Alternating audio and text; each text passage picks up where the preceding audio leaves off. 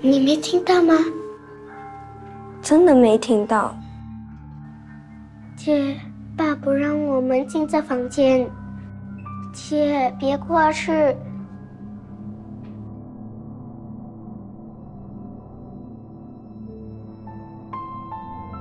最近这几个月，美月好了很多，情绪很稳定，没有再发狂，所以我认为可以让她出院。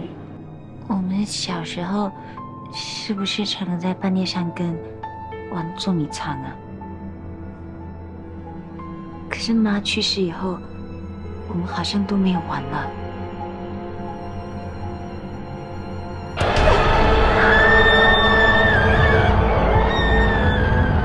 姐，答应我，你不会离开我。